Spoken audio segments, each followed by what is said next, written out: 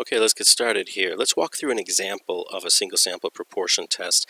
Now, if you watched the video that had this bundled in with the first part, uh, with the first video, um, you know, maybe don't watch that one anymore. It had some problems, so I've tried to fix those problems here. Inference for a single proportion involves, is usually done with a hypothesis test, and with that hypothesis test, we calculate a z observed. In this case, we call it z p hat. You could call it z observed whatever, it's the same thing. So you calculate this z observed value, which is just your proportion from your sample, p observed or p hat, minus your null hypothesis proportion divided by the standard error of the proportion. There's that neat, tidy little formula for the standard error of the proportion. A confidence interval is always your sample estimate plus or minus a z or a t type thing times a standard error. So in this case, it's your your, your point estimate is your proportion from your sample, and that is plus or minus uh, the z critical for your confidence interval, which is not always the same as for your uh, is not always the same as for a hypothesis test. For a 95% confidence interval, it will be 1.96, and then you multiply that times the standard error of the proportion, which will be the same value here as it is up here. So if you're doing both, you can just save that value there if you're doing them by hand. So this is how we do those um, those calculations, and then the process is logically exactly the same as for a single sample t-test, it's just that we're using proportions instead of means. Everything's the same, including the fact that we are using the normal approximation. We, use, we assume that the uh, sampling distribution of the proportion is a normally distributed thing, so we use z. So everything else is exactly the same. So let's see if we can walk through an example here. This example is based on a weird interaction I had while working in an a lab I was working in back at Ohio State when I was a grad student, but I've made up the values and um, heavily modified the reality. The reality wasn't quite this dramatic. It is, however, true that in Columbus, Ohio, where Ohio State is, there are 60,000 students, and then they have friends and family who come in from out of town. And in the big games, afterwards, there are riots. It's not people with masks over their faces running, throwing Molotov cocktails type riots. It's more like 20,000 people standing on High Street with beers in their hands, um, chatting and dancing and stuff. However, some bad things happen. Some people get sexually assaulted. Uh, I had a student, um, some fights break out. I, I had a student get her car overturned and burned by some people who were getting a little too much into the party spirit of things. And turns out insurance does not cover that.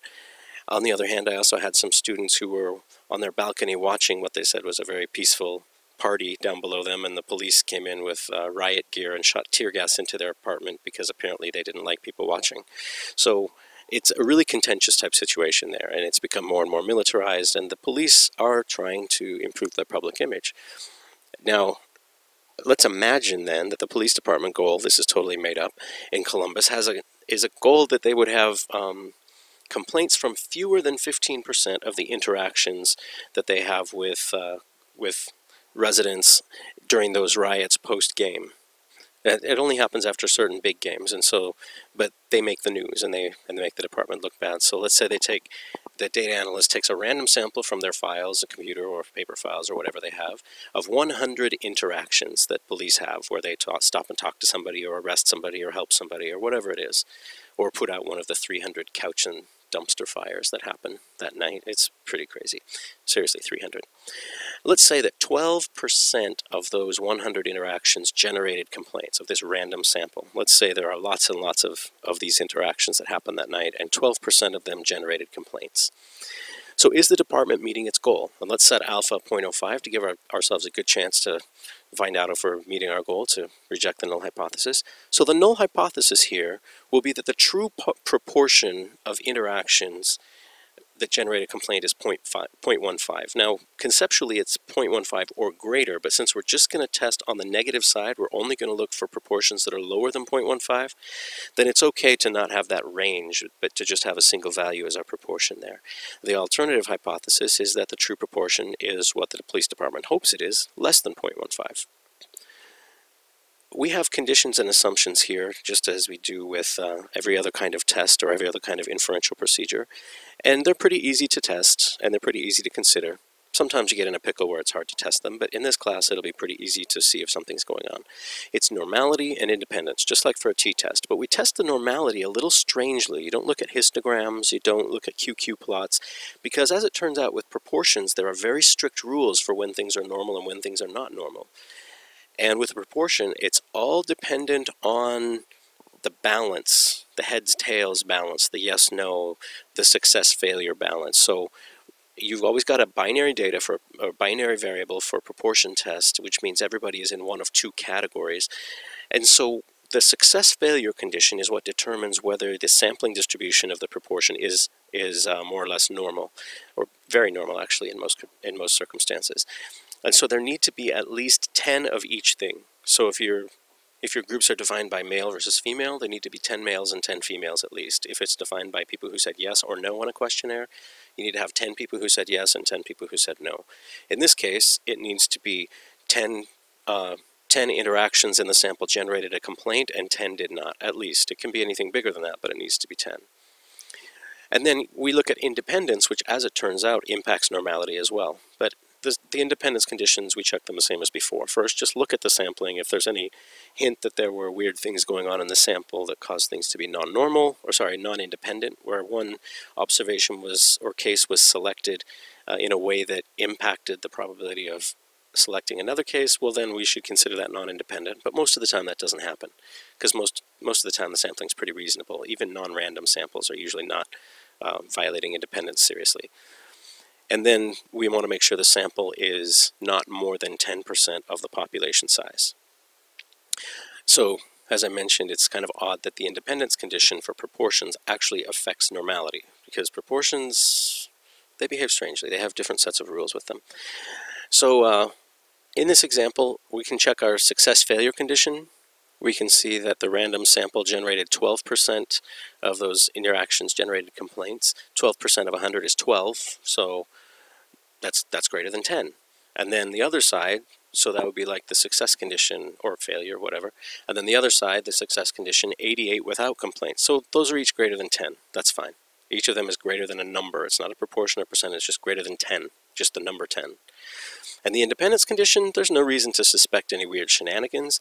However, with proportions and with this particular case, you might want to check because it people can select data in ways that aren't really independent. So you would you would want to check this and talk to people who collected your data for you and make sure they did it right. And the sample is probably less than 10% of the population, but you might want to check that too. What population are you generalizing to? If you're generalizing to just the interactions this one night, your sample might actually be more than 10% of all those interactions. There might not have been 1,000 interactions on that one night. However, they're probably trying to generalize to say all the interactions that happen over a course of maybe a couple of years. Uh, and, and then there will definitely be more than a thousand interactions probably. So you'd want to talk to somebody and make sure that that is actually met. So let's assume that's satisfied so we can move on with our example here. The null hypothesis mean, we could call it P0 instead of mu0, but it's the mean of the sampling distribution of proportions. So we could call it P0 or mu0. Uh, it's 0.15 because that's the value we're testing against. That's the value we don't want to we, we, don't want to be at that value. It's not our friend. The uh, sample proportion is 0.12 in this case, and z critical, one-tailed, negative. Actually, that should be negative 1.65, not positive 1.65. I'm getting sloppy. So the standard error of the proportion, 0.12 times 1 minus 0.12 over 100, square root of all that, that works out to be 0.03 more or less. And so then we calculate our z for our proportion, for our observed proportion there, our z-score. And if I did my math right, it ends up to be negative 0.92, and that's not enough. We needed negative 1.65 or less to be in the rejection region, but that's not enough, because we wanted the proportion to be much less than 15, but it wasn't enough less than 15. 0.12 is not enough less than 15, so we failed to reject the null hypothesis. So sadly, Columbus Police Department in this imaginary fake made up situation, we would say they were not meeting their department goals. So the evidence does not support the hypothesis that the true proportion is uh, lower than 0.15. We don't have to worry about higher because we just never would have considered that to be successful to, a successful outcome in the first place. So yeah, didn't really work out. But let's calculate a confidence interval and see what kind of a situation we're actually looking at. Let's do the 90 the 90% confidence interval just because that 1.65 will be the same. Now we had 1.65 as our confidence as our um, z critical and that put 5% in one tail of the hypothesis test. But let's put 5% in both tails of the confidence interval. Why not? It's nice and parallel. So we plug in the numbers. We get 0.12 plus or minus 1.65 times the standard error there. And we get 0.066 and 0.174. Now with proportions, it's kind of nice to carry things out to about three decimal places at the very end, because then you can have something something point something percent, which is a nice level of precision for percentages. And often people report things as percentages in this. So we would say we're 90% confident that the true proportion, etc., 6.6% and 17.4%. Next time, we'll talk about two proportions.